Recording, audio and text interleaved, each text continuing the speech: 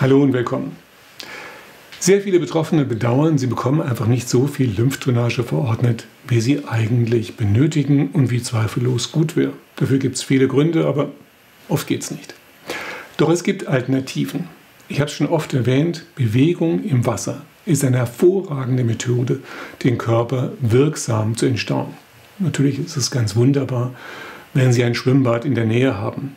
Wenn die Schwellungen Sie dann quälen, versuchen Sie eine Zeit lang häufig, am besten täglich, zum Beispiel eine halbe Stunde sich im Wasser zu bewegen.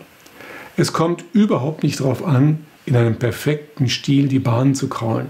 Jede Form der Bewegung ist gut. Wasser treten, Aquajoggen, Ball spielen, was auch immer. Doch was, wenn das öffentliche Schwimmbad gerade geschlossen hat oder es ist unerreichbar? Einige unserer Patienten waren hier wirklich kreativ. Sie nützen einfach das, was verfügbar ist. Also, das beginnt morgens früh beim Duschen. Beenden Sie die Dusche möglichst mit kaltem, am besten eiskaltem Wasser. Vor allen Dingen dort, wo es eklig ist. Gesicht, Bauch, Rücken und dann natürlich längere Zeit die Beine. Dann wird die Haut gepflegt und hinein in die Kompressionsstrümpfe.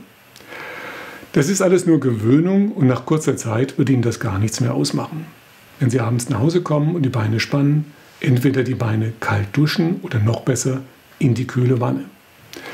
Einige unserer Patienten gehen sogar mit Kompressionsstümpfen dort hinein und bewegen die Beine. Der Effekt, sehr viel Wasser wird ausgeschieden.